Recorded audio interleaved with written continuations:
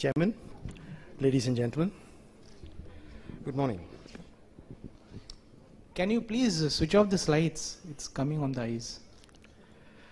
So I have no disclosures, and everything I'm going to talk is, uh, is based on my own research work and by our team as well.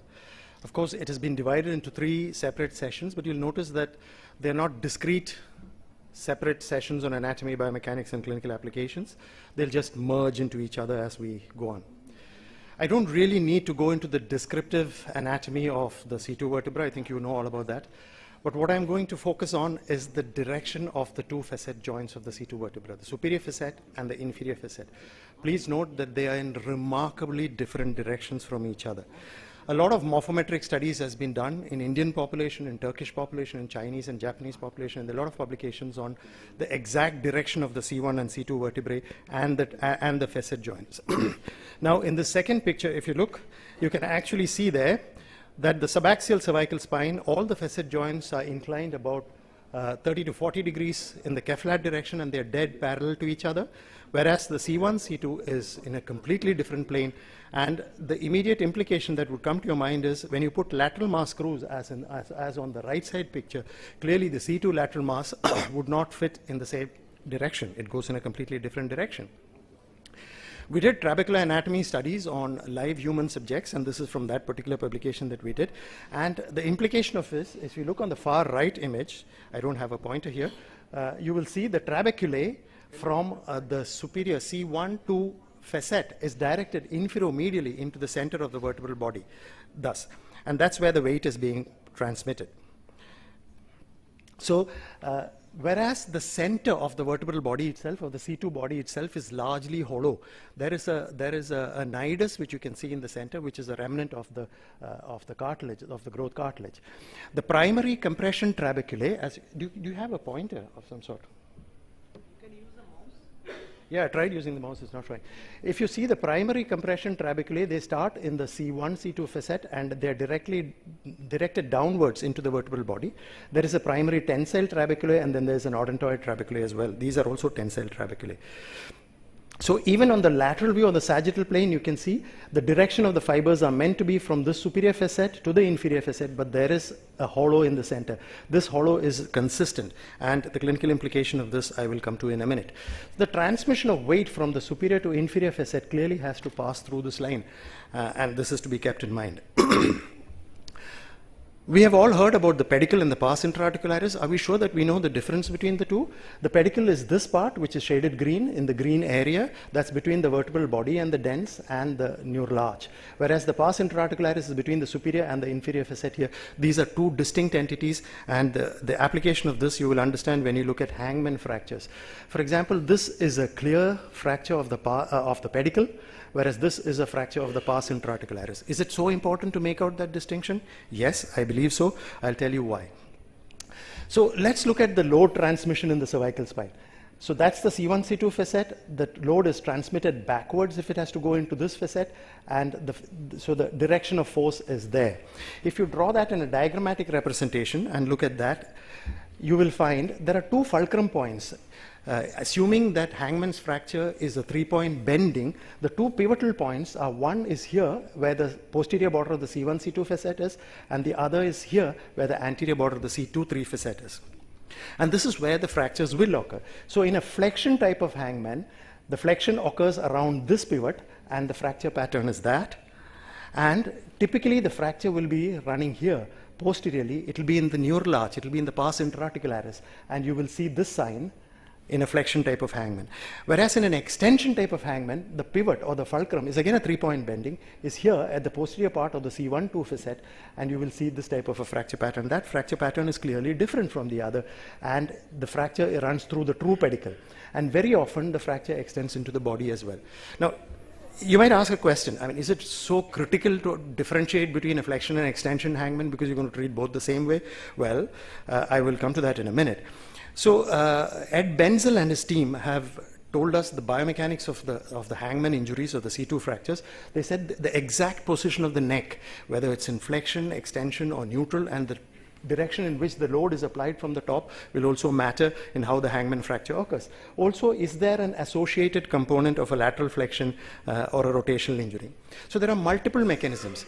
Except in the judicial hanging where you have a distraction force, vast majority are compression forces. There's a flexion extension hangman. There are elements of rotation.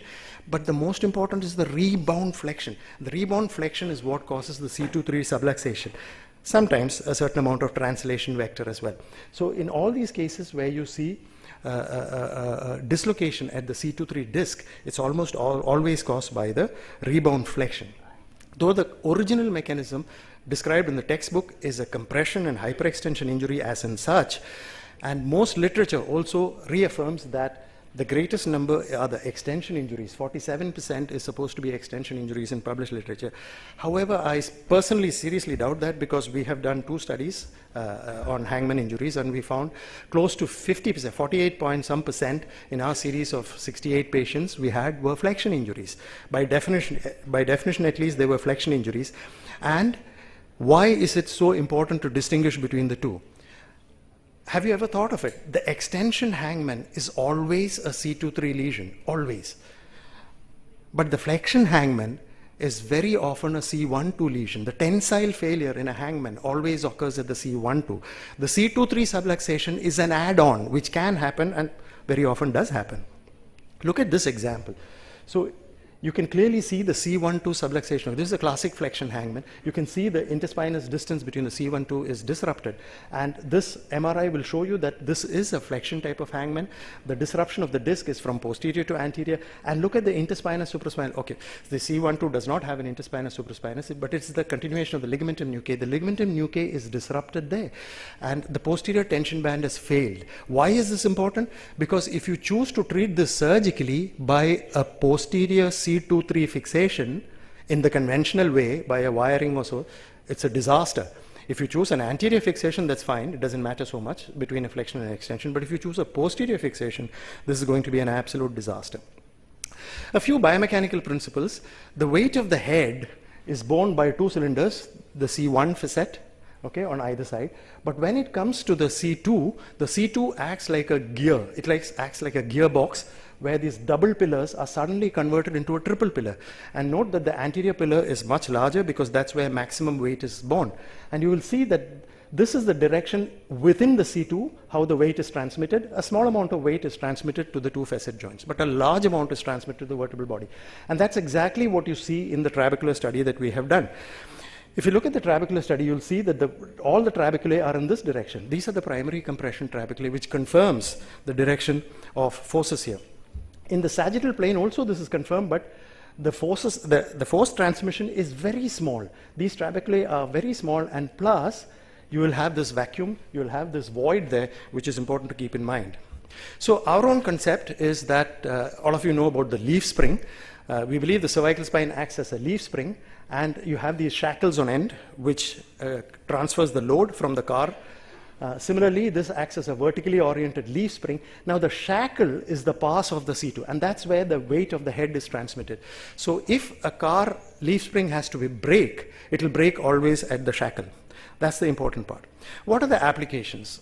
You have all seen uh, odontoid screw fixation, but remember in a young adult, the, the, the, C2 vertebrae has got a lot of trabeculae, but in elderly people, there is a void there. In addition to the void in the center, you'll often have a void in the center of the odontoid process. So you might have to inject some cement into it. Just putting a screw like that in an elderly patient very often does not work.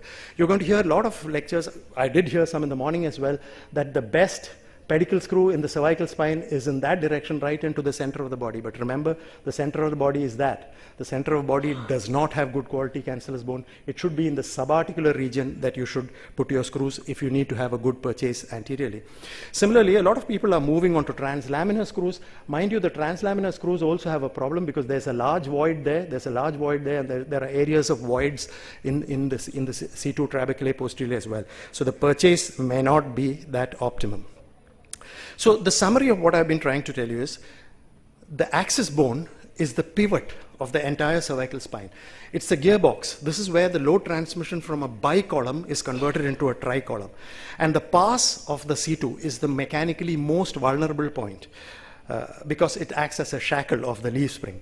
And whenever you put a C2 screw, please consider, think about the trabecular anatomy of the C2 and do not go bang into the center of the body. It may not always work. And I think, I personally think it's hugely important to differentiate between a flexion hangman and an extension hangman. An extension hangman is a C2-3 disease. A flexion hangman is a C1-2 disease.